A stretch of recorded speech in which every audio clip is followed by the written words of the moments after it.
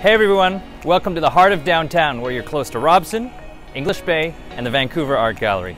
We've got a super efficient junior one bedroom with heating and cooling included, and it's really cool. Let's check it out.